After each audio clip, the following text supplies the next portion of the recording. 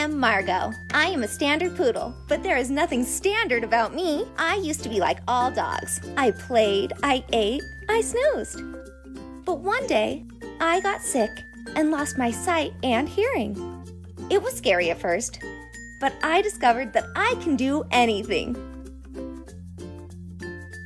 I live at the marvelous and magical Poodle Resort and Spa. My four poodle sisters and I go on all kinds of adventures and have tons of fun.